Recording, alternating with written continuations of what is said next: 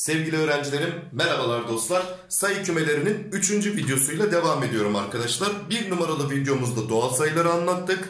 2 numaralı videomuzda tam sayıları anlattık. Şimdi tam sayılar ve doğal sayıların bir alt başlığı olan tek ve çift sayıları göreceğiz dostlar. Bunlar hakkında sorular çözmeye çalışacağız inşallah diyelim. Hemen vira bismillah diyorum ve ilk kağıdımı önüme alıp tek sayı nedir, çift sayı nedir bunu bir öğrenelim istiyorum dostlarım. Şimdi doğal sayılar videosunda da bahsettik gerçi ama yine bir kez daha söylemek istiyorum dostum ben. Tek sayı dediğimiz şey tek sayı 2n artı 1 ile gösteriliyordu dostum. Çift sayı dediğimizde 2n ile gösteriliyordu. 2n ifadesi çift sayıları temsil ediyor. n 2n artı 1 ifadesi ise tek sayıları temsil ediyordu dostlar. Bunu da bir hatırlamış olalım istedim. Yani 2'nin katı olan tüm sayılar çift sayı, 2'nin katından bir fazla olan sayılarsa tek sayı olarak temsil ediliyormuş dedik. Şimdi bu tek sayılarla çift sayıların aralarındaki toplama işlemi, çarpma işlemi, işte kuvvet işlemi altındaki sonuçlarını da birlikte inceleyeceğiz dostlar. Şimdi bakın ne diyor?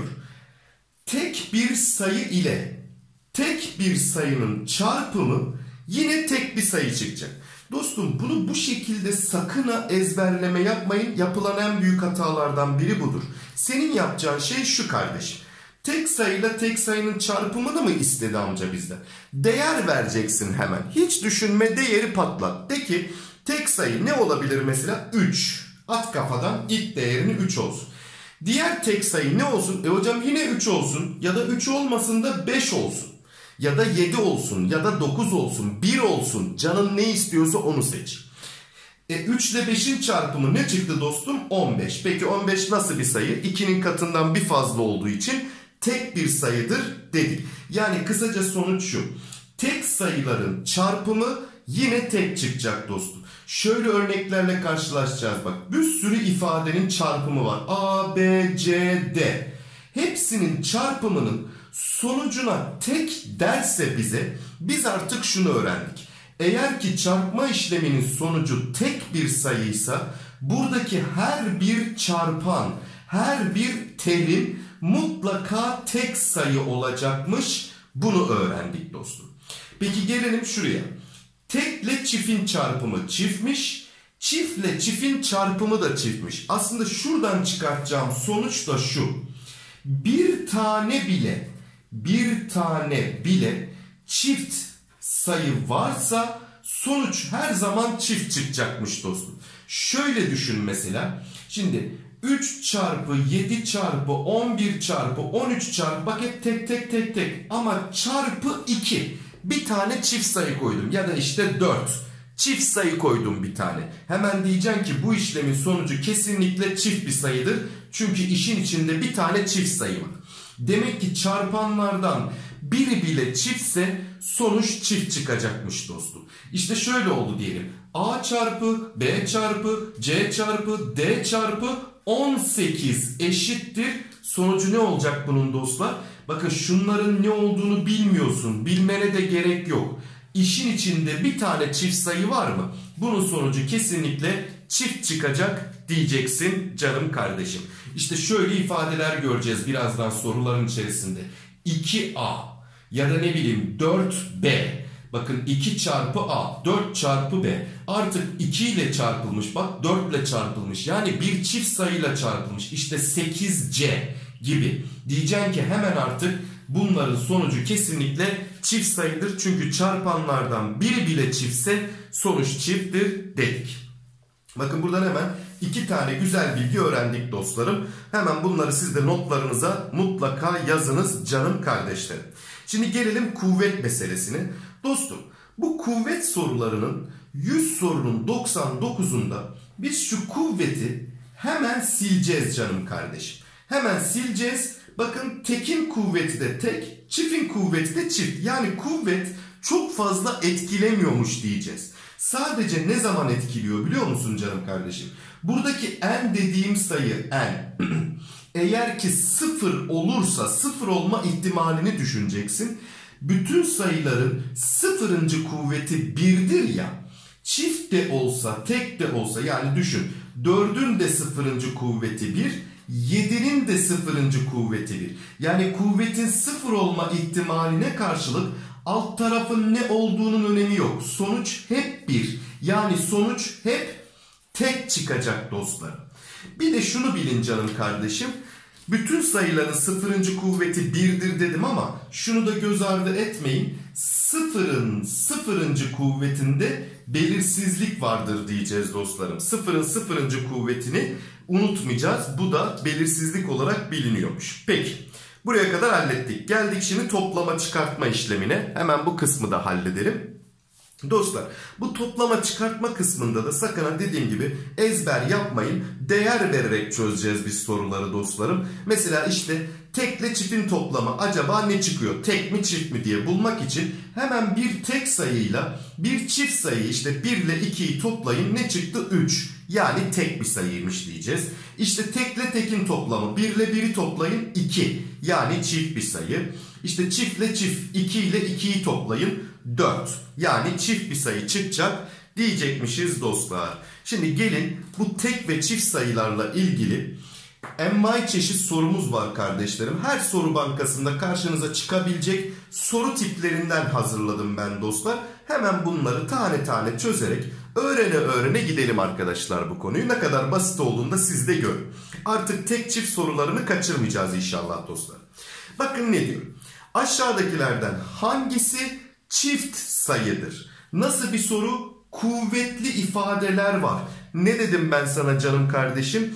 Kuvvet seni ilgilendirmiyor.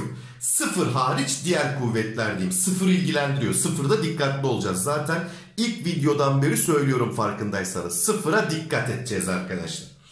Şimdi gelelim şuraya.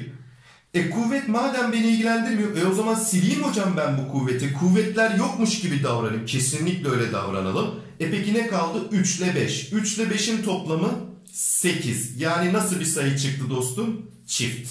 Bakın kuvvetleri görüyor musun? Görüyorsun. Yok et bunları. Görmeyin kuvvetleri. Kuvvet çünkü etkilemiyordu dostum. Peki 4 kaldı burada. 4'ten 1 çıktı.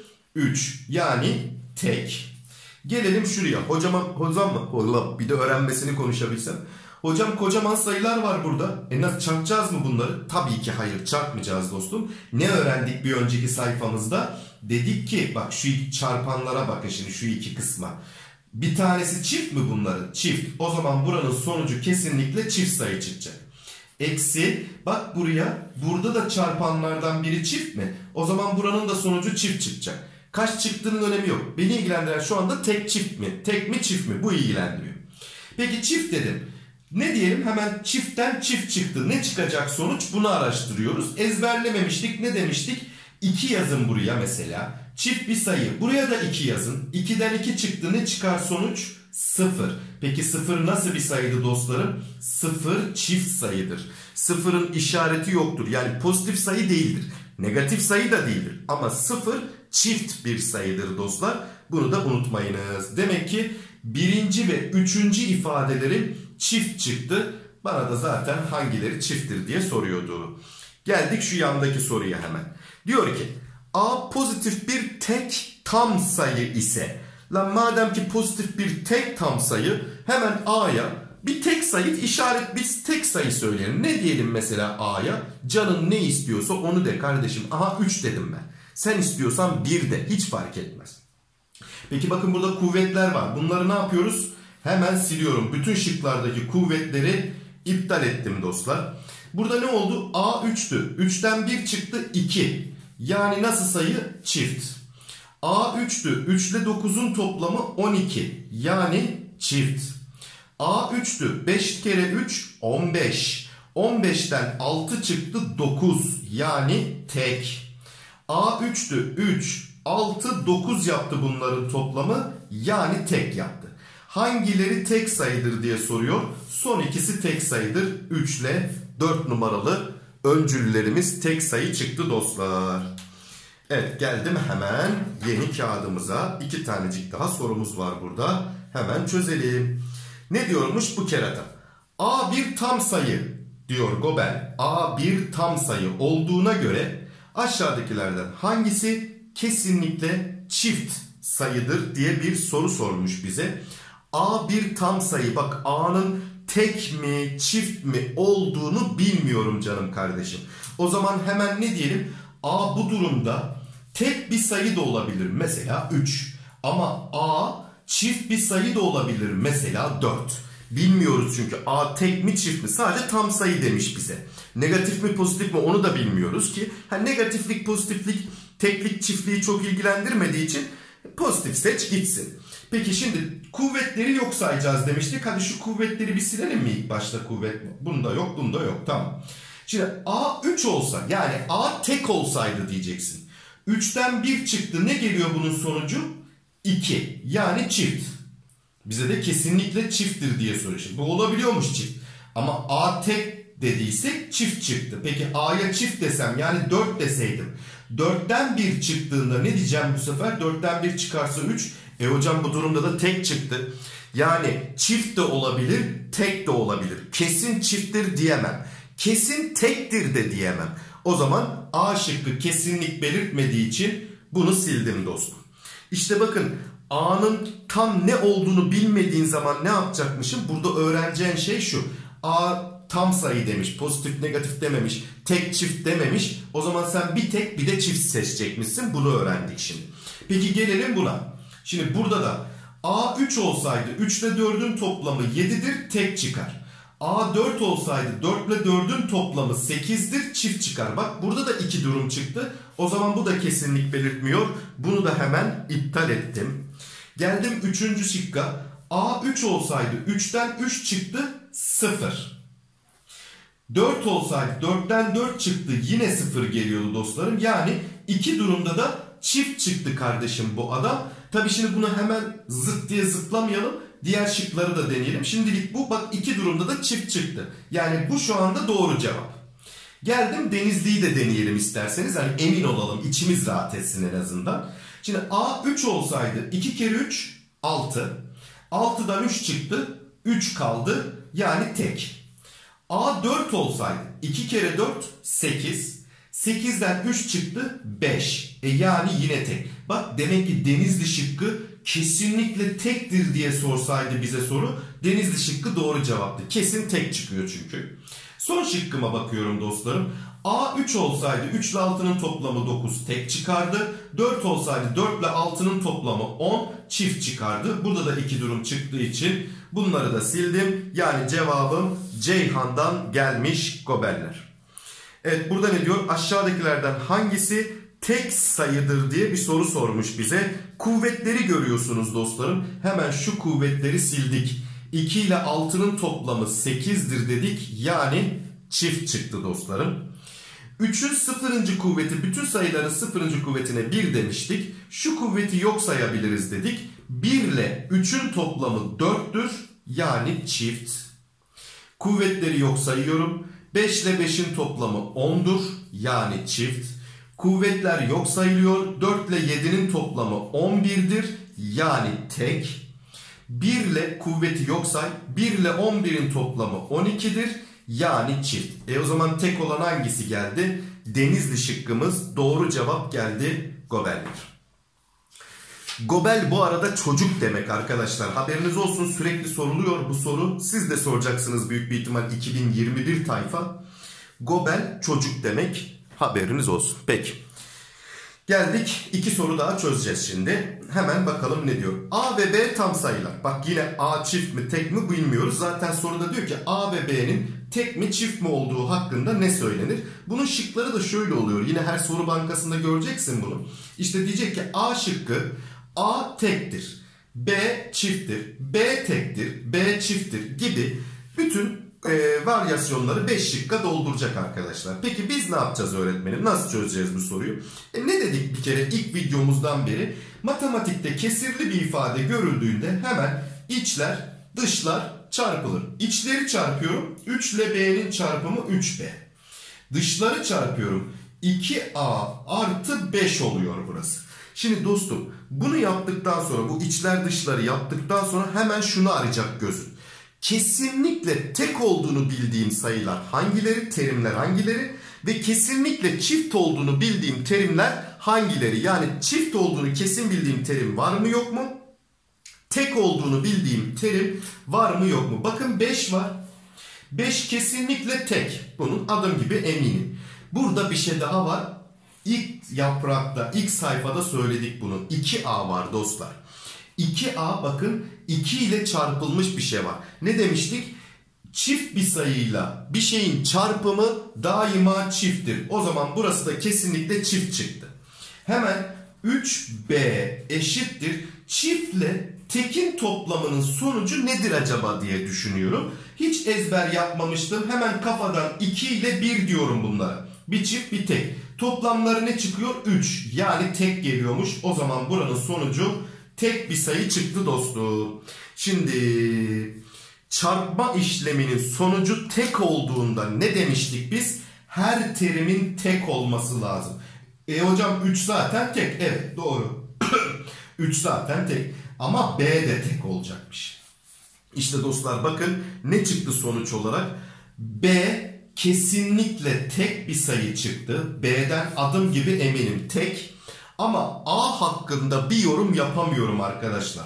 A çift de olabilir, tek de olabilir. Çünkü şurayı etkilemedi. A'nın çift ya da tek olması buranın çift veya da tek olmasını etkilemediği için dostum. A ikisi de olabilir ama kesinlikle B tektir. Bunu söyledim. Bakın benzer sorudan bir tane de burada var. Artık nasıl başlayacağınızı biliyorsunuz zaten soruya. Hemen şu C'nin altına paydasını 1 yazalım. İçleri çarpalım 4C. Dışları çarpalım 1 artı A çarpı B gelsin. Hadi şimdi kesin bildiğimiz şeyleri yerleştiriyoruz. Dostlar 4C'yi söyleyin bakayım. Hemen nedir 4C? 4 ile çarpıldığı için kesinlikle çift. Biri söyleyin arkadaşlar. Kesinlikle tek. Burada da A, A çarpı B var. Hadi teki bu tarafa atalım. Eksi gelecek buraya. Çift eksi tek oldu. Eşittir A çarpı B. Çifte bir sayı uydurun hemen. 6 olsun. Teke de bir sayı uydurun hemen. 1 olsun. 6'dan 1 çıkarsa 5 kaldı. Yani tek bir şey çıkıyormuş. Çiftten tek çıkınca tek kalıyormuş. Tek eşittir A çarpı B. Bakın çarpma işleminin sonucu tekse ne olacak demiştik? Bu da tek olacak, bu da tek olacak. O zaman kesinlikle ama kesinlikle eminim ben A da tek, B de tektir dostlarım. Ama C nedir hocam? C bakın burada yuvarlağın içinde kaldı. Şu yuvarlağın içinde kaldıysa kardeşim C hakkında bir yorum yapamam ben. C tek de olabilir, çift de olabilir. Çünkü buranın çift çıkmasını etkilemedi arkadaşım. Tek de olsa çift çıkıyor, çift de olsa çift çıkıyor. O yüzden C hakkında da yorum yapamıyoruz. Ama A ve B kesinlikle tektir. Adımız gibi eminiz bundan. Hadi bakalım hemen bir soru daha gömelim şimdi dostlarım. Hemencecik bir soru daha gömüyoruz. Diyor ki A pozitif tam sayı olmak üzere aşağıdakilerden hangisi daima çift tam sayıdır diyor. Daima çift tam sayı olacak. Şimdi A pozitif bir tam sayıymış. Yani sıfır olamaz A. Bunu biliyoruz. Birden başlar diyor. 1, 2, 3 diye sonsuza kadar gider diyor. Ha, 1 de olabilir, 2 de olabilir, 3 de olabilir. Ama e, en azından sıfır olmayacağını biliyoruz dostlar. Bir de başka da bir şey bilmiyoruz. Yani A'nın çift mi tek mi olduğunu da bilmiyoruz. O yüzden ona göre değerlendireceğiz şimdi. Şimdi şu A şıkkında faktöriyel var. Bu bir dursun kenarda şimdilik. Biz şu B şıkkını inceleyelim. Buna hemen yaparız bakın. Çünkü kuvvetleri yok sayıyorduk dostlar. Peki ne oldu burası? A'ya hemen bir değer atalım. 1 diyelim mesela A'ya. A tek olsun. A'yı bir 1 seçelim. A'yı bir de 2 seçelim dostum. A 1 ise 1, 2, 3, 4 gelir burası. Yani çift çıkar. A 2 ise 2, 4, 6, bir daha 7. Yani tek çıkar. E o zaman öğretmenim çift de çıkabilir, tek de çıkabilir. Ben Bursa şıkkını direkt kafadan eledim. Bursa gitti. Geldik Ceyhan'ı yapalım şimdi. Bakın bu da kolay. Üstleri yok sayıyorduk. A'ya 1 dersek. Birden 1 çıktı 0. Sıfırdan 1 çıktı eksi 1. Yani 1 gibi düşünün tek sayı yani. Peki 2 diyelim. 2'den 2 çıktı 4. 4'ten de 1 çıktı canım kardeşim 3. Yani tek çıktı. O zaman C şıkkı %100 tek çıkıyor. Yani soru bana daima tek deseydi Ceyhan şıkkı doğru cevaptı. Ama daima çift dediği için bunu da sildim. Hemen şu şuraya girelim arkadaşlar. Şimdi bakın kuvvet. Kuvvet bizi ilgilendirmiyordu. Sadece sıfır olma durumunda ilgileniyoruz kuvvetle. E kuvvetimizin sıfır olma ihtimali var mı? Yok. Çünkü A pozitif bir tam sayı dostlar.